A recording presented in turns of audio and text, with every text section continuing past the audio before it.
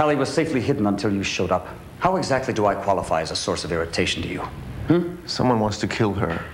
They would have found her here. I did. All right, okay, so now what? Where'd the hell she go? You tell me, she's your buddy. She had a boyfriend. This, uh... I don't even know how to explain him. He's not someone I normally allow on my radar screen, right? Name's Ivan. He's a bad guy? He's a criminal. I grew up with guys like that in Brooklyn. But don't tell her that. She actually slugged me once when I told her she could do better. She seems fond of him. So last Sunday, she tells me she's seen the light. She's met someone new. He's a grown-up. And I'd like him.